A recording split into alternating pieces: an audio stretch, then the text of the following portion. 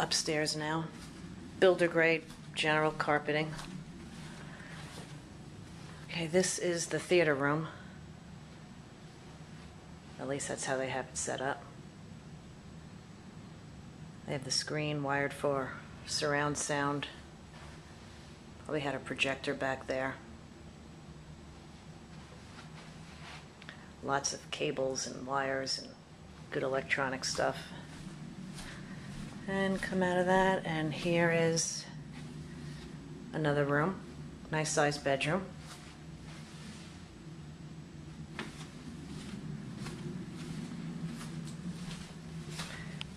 And the bathroom.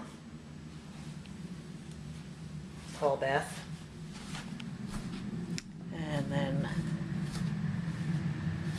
laundry room is upstairs, which is common in these big homes, two story homes. Oh, good sized bedroom here. This has a walk in closet. It's two up here. This is three. This is a massive bedroom. Oh my gosh.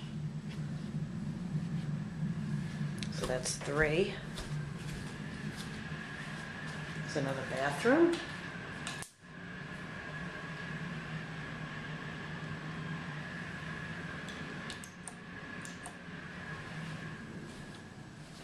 So another bedroom is four.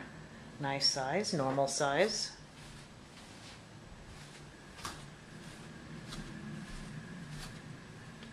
Here's another one up here.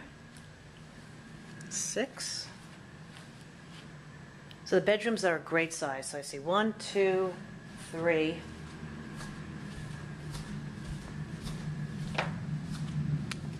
Four.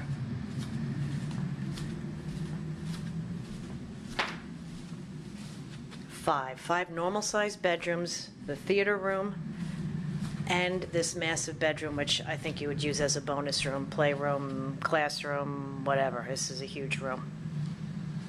And there's one full bath up here with two sinks.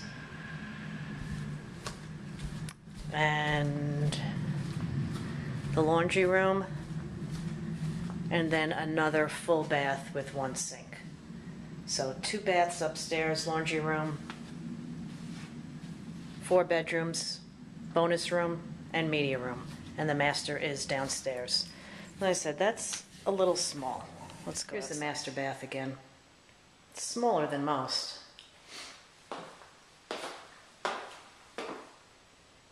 Redid the shower.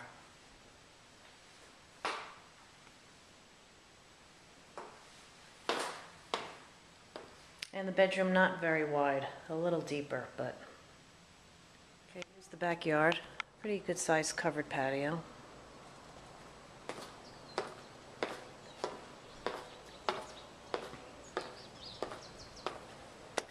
Not, I mean, it's a cool size, good shape. Probably not as big as the pictures appear. And then here's the backyard. I mean, there are two stories all around. Feels a little closed in. I mean, lots of trees in the neighbor's yard, not very well cared for. And then this is the backyard.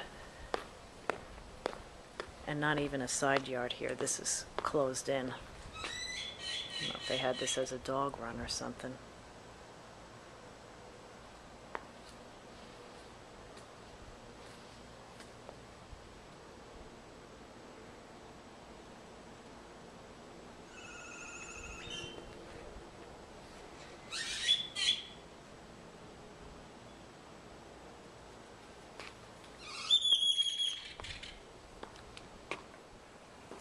Looks like there's some roof damage here, maybe some water penetrating from the roof, which is causing some of this.